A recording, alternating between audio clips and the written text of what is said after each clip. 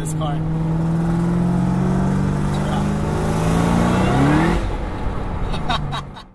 What's up, guys? That right there is my favorite part about this car. So uh, today we're gonna do a video. Uh, and it's basically centered on what I love about this car. You know, um, I've never, you know, I've told you guys about wheels, about how to how it is to drive on drag radials, but you know, and how it is to live with this car on a day-to-day basis. But I think you guys should know what what I really, really like about this car, and um, that right there, obviously the power. I mean, you're gonna buy a GT500, I mean, obviously you're gonna want to go fast, right? Uh, I mean, it is supercharged V8. Uh, this is a 2010 GT500. Came with 540 horsepower from the factory. Uh, for me, that wasn't enough, so I went ahead and did a 2013 supercharger with a pulley, an intake, a throttle body, uh, bigger injectors, heat exchanger, an off-road X-pipe. Car makes 666 wheel on 91 octane and about 724 on the 85. So yes, the power is definitely my favorite. I prefer not having traction so I can do stuff like that. Um, it's really great, you know, just sliding everywhere. I fucking love it. Or running up on like, is that like a Fiero or something? Like throwing the second and go. It's just like super loud. Like the supercharger one just accentuates it perfectly. It's like this perfect symphony of just blower one and uh, exhaust noise. So I mean, that being said, uh, I get more enjoyment from just flooring the car around town. You know, low speeds or on corners. You know, to just get a little squirrely. It's really really fun. Uh, I prefer that to you know doing high speed pulls in the freeway. Yeah, it's cool, but it doesn't really do it for me. So that's reason number one, the power, of course. So then reason number two, or uh, I guess item number two that I absolutely love about this car, and that is the styling. I feel like the 13 to 14 GT500 is the best looking Mustang out there. Uh, of course, you know the 10 to 12s are the same body style, but you know they don't have the uh, bumpers and the headlights and tail lights, and that's a big part of it, which is why I went ahead and did the 2013 conversion on this car. Um, so yeah, I mean, I, I, love the styling. It's just, it's very American. It's blocky. It's got a lot of body lines. Uh, I actually, uh, I was really excited about the GT350 and uh, the S550 Mustang as a whole when it came out. And I mean, it's nice. I really do like how the 350Rs look, especially when they're lowered. Uh, however, it's just it doesn't it doesn't do it for me as a Mustang. Uh, you know, it looks it's a good looking car, but it's not a good looking Mustang. At least not to me. Uh, I've met several other people that think the same the same way. Uh, you know, when you see this car roll by, there is no doubt in your mind that it's an American muscle car, and that's very important. Uh, so you know, it's got the red stripes, big red car you know, gets attention everywhere, as it should. And that would be reason number two. So then reason number three is actually these seats I'm sitting on right now. These Recaro seats are amazing. Uh, in the S550s, with like the 5.0s and the EcoBoost and all that, they actually they made the seats narrower. It's like uh, it's hard to explain, but these the Recaros on the S197s they're a little wider they um, they hold you really nicely, and uh, comparable to my RCF in that car, you know the seats are very comfortable, the leather is very plush, but I prefer these seats. Um, they hold you in. Not once have I slipped out of the bolstering. The bolstering is very, very, you know, thick. It's ample on these cars, and you know, for a, for a race bucket seat, it's absolutely comfortable. I've driven, you know, two, three hours. Uh, from here to Coalinga. No, yeah, about four to five hours in these seats, and I don't get I don't get tired.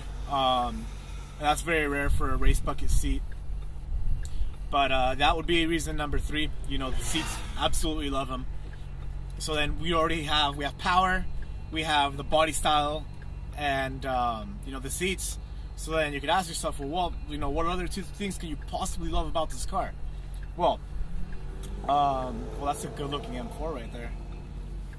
Dude, Sammy, what's up? Uh, that was my good friend uh, Sammy Sullivan. I'll go ahead and link his Instagram below. He's got a he's Mad BMW M4 on on Instagram, and uh, he actually uh, someone backed into his car, and you know he always needed to detail his car, and he would never do it. But somebody finally backed into it, so they went ahead and fixed his front bumper, and it looked like a brand new M4 rolling up. I had no idea it was him. The car looked too good to be his car, so that was uh, that was a problem right there. But um, I mean, yeah, I guess uh, I guess it was him. And then you know, just as we're speaking, there's a guy crossing the street right now with his dog, and just couldn't stop looking at the GT500. So that that would be reason number two. But all right, guys, enough of the distractions.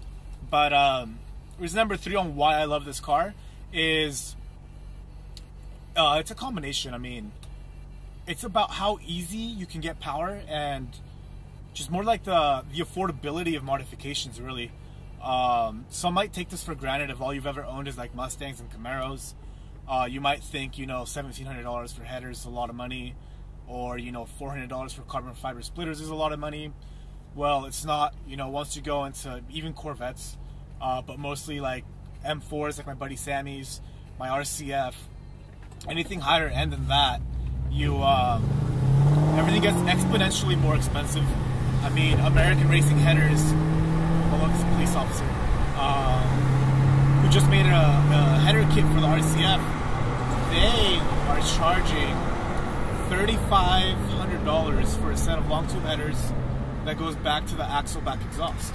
Well, that same setup on this car will run you, you know, fifteen to sixteen hundred dollars with the Shelby name on it. So I had to pay for licensing, so that's twice as much money. So it's just it's really valuable that you can buy such a nice car and be able to immediately mod it with minimal out-of-pocket expenses.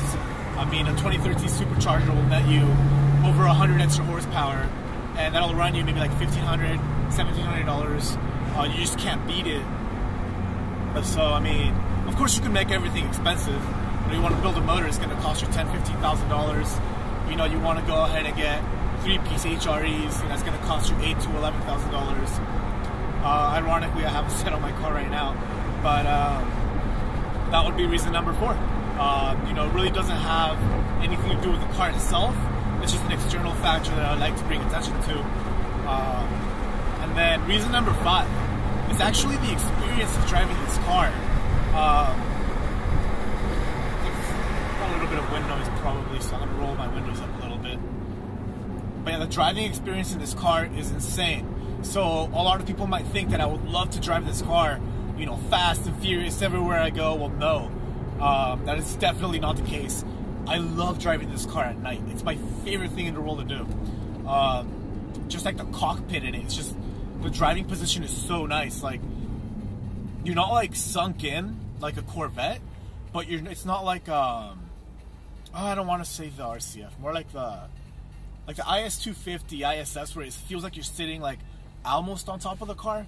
This has a nice cockpit feel, um, and then combined with all the other factors, you know, the power, the seats. Um, it's just a very enjoyable driving experience at night. Um, just you have the gauges, which are red, white, and blue, and you can switch them to any color you want using my color. I go with blue just because my boost gauges are blue, so I have the mood lighting, everything set to blue. So at night, you have this really nice blue hue in your face, and like uh, on your peripheral vision, you have the boost gauges. Uh, that combined with my sound system, I have two 10-inch subwoofers on top of the Shaker 1000 system, which has subwoofers as well.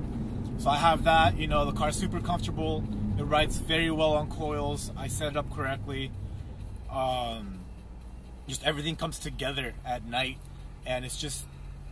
I mean, I, I can't really explain it to you, but you're you're like at a feeling of peace when you're driving the car. You know, I just go 65, maybe 70 miles an hour, um, on the slow lane with my windows down at night, and it's just it's a great stress reliever. Um, you know, some people might be like, "Oh man, well you're a total pussy, dude. You have, you know, over 700 horsepower engine. Like, you know, you want to relieve stress? Go ahead and do a wide open throttle, a 40 to 140 pull." And it's not, you know, maybe not anymore, but uh, yeah, it's just a very enjoyable car to drive. Uh, this car's actually better to, it's more enjoyable to cruise in than it is to race in. Um, I know it's very ironic for a car that's supposed to be, you know, a higher end American car, a sports car. You would think, um, well, it's rough, it's raw, but you would think that you would enjoy this car the most when you're, you know, on it all the time, and that's just simply not true. Uh, I enjoy driving this, you know, cruising in this car a lot more. Uh, it's actually the opposite of the RCF, which is why I daily this car. And that, guys, is the five things I love the most about this car. Um, you know, if there's any questions you have about the driving experience, about um, owning this car, uh, feel free to comment below. There are some things I don't like about this car. Uh, you know, maybe not hate, but definitely dislike. I'll definitely put hate on the thumbnail. Um, a little bit of clickbait action there. But yeah, I mean, those five things I absolutely love about the Shelby GT500. Uh, thanks for watching, guys. Go ahead and subscribe. And as always, if you need anything, you have any requests, um, or anything I can improve, go ahead and comment it below, and I'll get it fixed as soon as I can.